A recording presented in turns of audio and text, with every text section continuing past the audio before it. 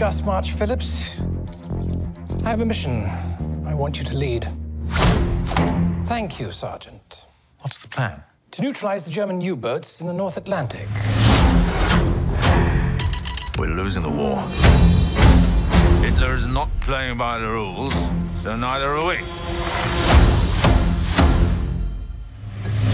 We both know that I'm not very popular with the administration. Hmm. The reason they find you unattractive is the very reason I find you attractive.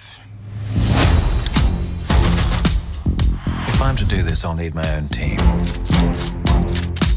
You won't like them. They're all. No! mad. They'll need to be.